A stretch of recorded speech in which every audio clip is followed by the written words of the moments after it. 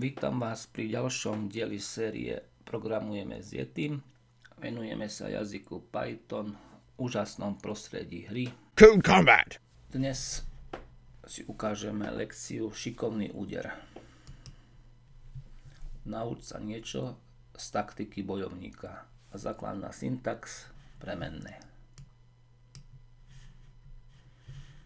Hraj. Ciele. Zabij ogrov. Vezmi si diamant a bonus máme za bezchybný kód.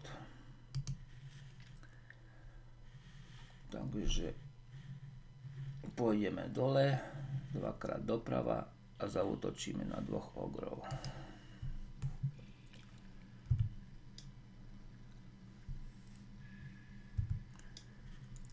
Dole, dvakrát doprava, to znamená použijeme argument 2. Nájdeme si najbližšieho nepriateľa a meno toho nepriateľa uložíme do premennej enemy a teraz na toho nepriateľa zautočíme.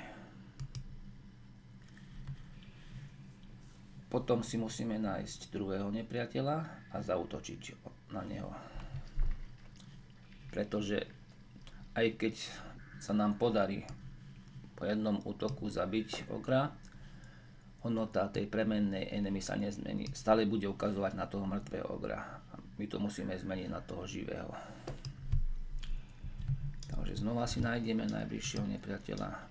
Môžeme do tej istej premennej to uložiť, keby sme chceli, by sme mohli rozlíšiť enemy 1 a enemy 2. Takže potom by sme museli meniť aj túto enemy 1 a tu enemy 2. Takto si ušetríme robotu. A potom dole.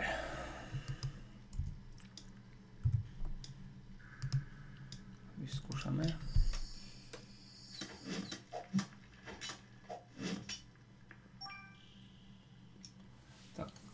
Na tejto lekcii bolo dôležité uvedomiť si, že keď vyhľadávame nepriateľa, tak vyhľadávame najbližšieho nepriateľa v, dan, v daný okamžik.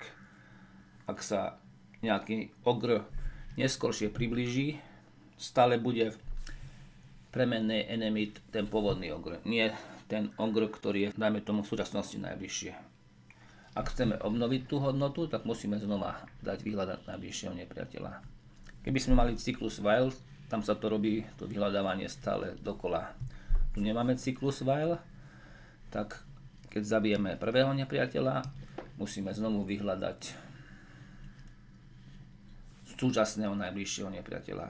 Pretože inak, keby sme to použili takto, bez tohto riadku, urobím z neho komentár tak náš hrdina by utočil stále na tohto pôvodného nepriateľa. Možná, že by aj napísal, ale je mŕtvy. Môžeme si to vyskúšať. No.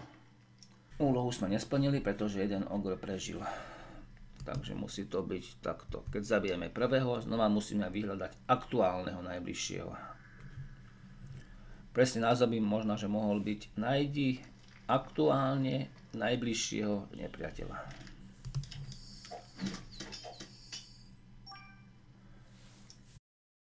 I feel great.